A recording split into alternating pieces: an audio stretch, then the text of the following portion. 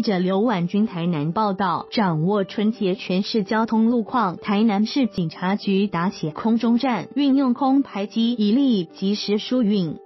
台南市警局在春节期间事先规划两百五十二处交通岗外，针对易拥塞路段，并出动空排机，提前掌握先机，让执勤员警可以提早应应。交通大队勤务中心也透过电视墙全天候监看主要路口状况。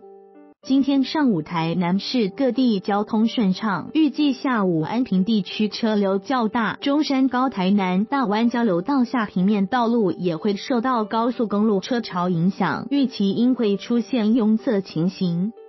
交通大队表示，去年农历春节期间即运用空拍机掌握偏远地区交通状况，今天扩大运用，尖峰时段即会上空，且为解决即时交通问题，意见至跨部门 Line 群组，整合市府交通局、公务局、公路总局公务段及国道高速公路局，适时提供相关道路资讯，并共同解决问题。